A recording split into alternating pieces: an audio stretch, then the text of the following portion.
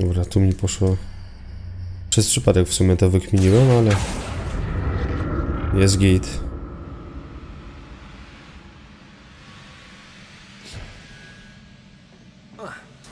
O nie, czemu on takie rzeczy robi? To jest okropne, bym jeszcze spadł i tyle by było z mojego życia czarodzieja.